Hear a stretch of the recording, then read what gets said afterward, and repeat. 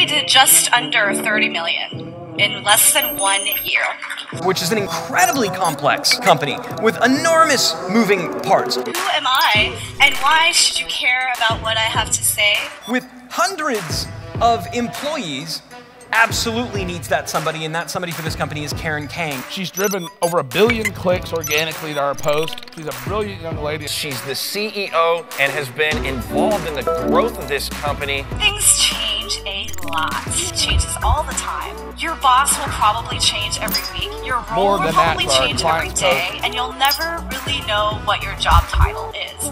Can you handle this? Brilliantly, right, set up so that it's like these types of content are easy to outsource. Like you said, it's a system. We, we've created a foolproof system. I'm going to talk to you about some organic things that we've done in addition to some hybrid strategies for buying our media. Content is always cheaper. Another use for the e-commerce stores for us is as an exit point on our sales funnels. So it's leading them into our e-commerce stores. Train and train some more. Because this training will carry them on throughout their career. Expand your company talent. When people start to feel left out, it starts to, that's when that, that horrible culture begins created.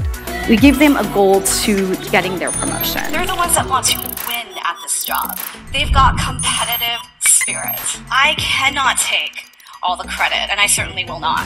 Talk about actually surviving scale. Like, how are we going to get to a half million a month?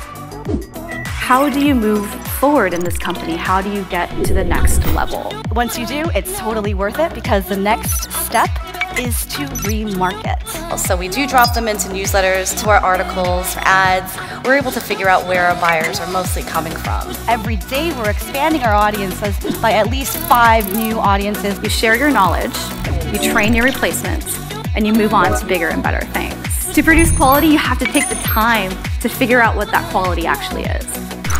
Thank you.